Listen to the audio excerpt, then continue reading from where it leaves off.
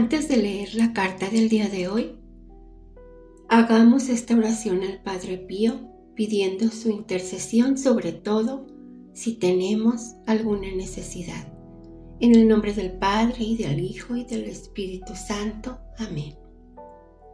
Amado Señor, Padre eterno en la Santísima Trinidad, te damos gracias y te glorificamos porque de tu divina voluntad glorificada por los méritos del sacrificio perpetuo de tu amado Hijo en la cruz y en el sagrario hemos recibido, según su promesa, los dones del Espíritu, el amor, la paz y la gracia de la vida eterna.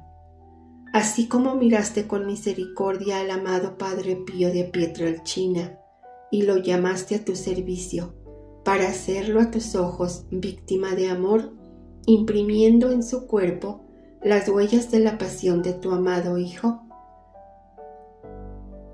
Te pedimos humildemente aceptes por su entrega y servicio a tu Hijo y por su intercesión las súplicas que nosotros elevamos a ti por el Papa, por la Santa Iglesia Católica, por nuestros obispos y sacerdotes, por nuestra comunidad, por las almas, por nosotros pecadores, por los más humildes, menesterosos y abandonados, y por la necesidad que ahora te presentamos con la luz del Espíritu Santo desde el fondo de nuestros corazones.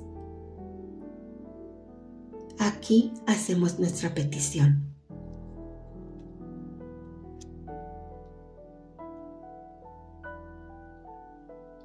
Confiados en tu bondad e infinita misericordia, te suplicamos que, según tu santa voluntad, nos concedas lo que te pedimos por intercesión del Santo Padre Pío, si es para nuestro bien y salvación.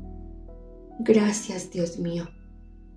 Danos entonces la fe para glorificarte, danos la esperanza para adorarte y danos la caridad para amarte haciendo con nuestros hermanos según tu palabra.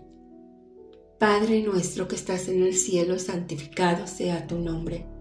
Venga a nosotros tu reino y hágase tu voluntad en la tierra como en el cielo. Danos hoy nuestro pan de cada día. Perdona nuestras ofensas, así como nosotros perdonamos a los que nos ofenden. No nos dejes caer en tentación y líbranos de todo mal Dios te salve María, llena eres de gracia, el Señor es contigo, bendita eres entre todas las mujeres, y bendito es el fruto de tu vientre Jesús. Santa María, Madre de Dios y Madre nuestra, ruega por nosotros pecadores, ahora y en la hora de nuestra muerte. Amén. Gloria al Padre, al Hijo y al Espíritu Santo, como era en el principio, ahora y siempre, y por los siglos de los siglos. Amén.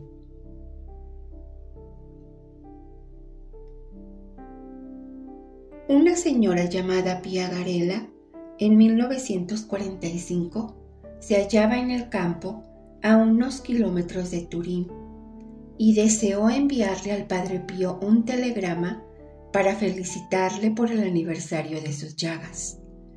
Al no encontrar manera de enviársela, se acordó de la recomendación del Padre Pío. Cuando tengas necesidad, mándame a tu ángel. Entonces, personalmente pidió a su ángel que le hiciera llegar su felicitación.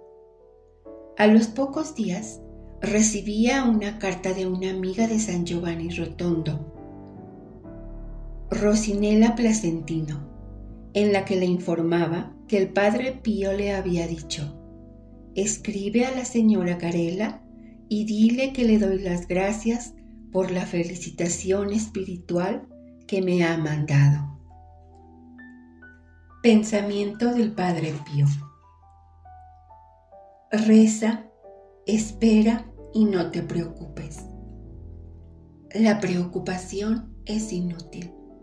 Dios es misericordioso y escuchará tu oración. La oración es la mejor arma que tenemos. Es la llave del corazón de Dios. Debes hablarle a Jesús no solo con tus labios, sino con tu corazón. En realidad, en algunas ocasiones, debes hablarle solo con el corazón. Amén, amén, amén.